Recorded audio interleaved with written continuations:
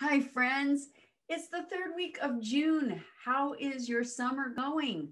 I hope by now that you and or your kids are done with some schoolwork and that you're able to actually take a rest. My boys finished their finals last week, and there's just something about waking up that first day after finals knowing that you have the ability to rest that part of your brain. Today, I'm going to be talking about rest. It's something that we long for, we make plans to do it, and yet we struggle to accept the invitation that God gives us to return to rest. I'm going to share my struggle with rest, and I'm going to talk about how God was there for me when I was forced to do it. Yes, you heard me. I was forced. I am Cheri Fletcher, and this is your spiritual game plan change. It's something that happens to all of us. You've invested your time and energy into an important role, sometimes for years, and then suddenly it's time for you to move on. Maybe you've worked hard on a dream, and now your path is taking a new turn, but that dream isn't going with you. Perhaps you've raised your kids and they've moved on, but now your empty nest is filled with parent care.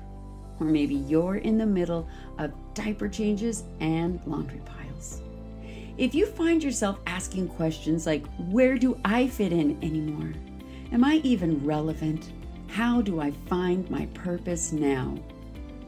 You are in the right place. This is the show for women in a season of transition I believe that while your roles in life will change, your purpose is eternal. I'm here to help you understand just how intentionally you were made by a creator with a game plan. Together, we'll discover ways to help you unlock the purpose God's placed in you, develop a game plan for your life's calling, and embrace the intentional masterpiece you were created to be. When was the last time you chose to rest? To be quiet and to trust in God, to let Him restore you. How would you even define the word rest? For me, I used to think that it meant the same thing as being lazy and unmotivated. God knew that we would struggle and resist rest. And that's why he reminds us to stop and take one. He even set the example for us. When he finished his work, he stopped to rest. God's rest is not like human rest. In Isaiah 40, 28, we are told that the everlasting God, the Lord, the creator of the earth, never faints nor is weary. There is no searching of his understanding. So God's rest didn't have anything to do with him being tired. He rested in the sense that he stopped. He stopped from creative work. He stopped and he gave us an example of rest, and he still invites us to return to that rest. I grew up attending the Seventh day Adventist Church. So remembering to stop and observe the Sabbath was a part of my life, but yet I was not resting. I wasn't fully stopping. I was not accepting God's invitation to do so. I was too busy. I had stuff to do. I had a young family and responsibilities. And I also had the mindset that if I didn't do it, who would do it? Well, four years ago, when I was in the middle of my nonstop life, I was unexpectedly stopped. Have you heard the term hitting a wall? Or if you're a runner, there's a term called bonked. For a non napping person, I was finding that I could not stay awake after about 3 p.m. I had bonked. I went to see my doctor, and he said, pretty much, you need to stop. He also told me that I had brought a kind of immune deficiency upon myself by doing all things. Well, the first thing out of my mouth was, I don't have time for this. Yeah, right. Classic. but my second one then was, well, how quick is, can we cure this? Well, turns out there is no cure, only a treatment. My treatment plan slow down. Eliminate all the peripheral obligations and balance your rest. He said I needed to start removing responsibilities from my schedule. Sounds lovely, right? Well, not for me. I am much more of a Martha than a Mary. For me, my stewardship has always included a lot of peripheral obligations like committees and planning events and hosting people in my home. I actually enjoy these things. So why would I want to remove them? Clearly, my expression of stewardship needed to change in this new season in life for me. For me to continue serving, I needed to rest. I needed full restoration. My doctor explained that all of my peripheral obligations were like tabs open on a computer, my life being the desktop and my brain being the computer. Think of it this way you have a slow computer. Open tabs might be to blame. The more tabs that you have open, the more random access memory, or RAM, is being used. And this slows down the computer. I had so many mental tabs open, I was running very low on resources. All of my activities were rewarding, fun, and fulfilling, but they took energy, and I was not replacing that energy through rest. This kept me in a constant state of anxiety and on the brink of burnout. My doctor told me that I needed to start taking things off my plate. Well, if you know me, um, he should have said platter. Choosing what to eliminate was hard. Telling people that I needed to rest actually felt like a lame excuse to get out of obligations. But part of that stretching and growing process for me was in the surrender. I actually had to admit to myself that I could no longer keep the pace that I was trying to maintain. When he told me to balance my energy output with rest, I really had no idea what he meant. At first, I thought all I needed to do was take a daily nap, maybe go to sleep an hour earlier. But he explained that I needed to look at the cognitive energy that I was putting into constantly running through my to do list. I was actually working on physical tasks, and my brain was running ahead, working on the next project that I would need to complete. It was during that time that I saw a review on Instagram for a book called Sacred Rest Recover Your Life, Renew Your Energy, Restore Your Sanity, written by Dr. Saundra Dalton Smith. That book and her message were just what the doctor ordered. Dr. Saundra's information on the different kinds of rest was crucial to my now recovering and restoring soul. Being a doctor herself, Dr. Saundra combines scientific research with her own personal stories and great spiritual insight. I find myself highlighting and turning corners down and scribbling on so many of the pages. One of the points that she made is to pay attention to what she calls low yield activities. That point being, I needed to limit or eliminate all activities that failed to yield consistent positive gains. That meant I had to admit a lot of my peripheral activities fell under that category. They drained my mental space versus filling it. I didn't have to give up everything, but for the activities that I did keep, I've kept a schedule, giving them a specific day and a time. And that has allowed my brain to block them from other days of the week and helped eliminate all the anxiety I was having to unfinished work lying ahead.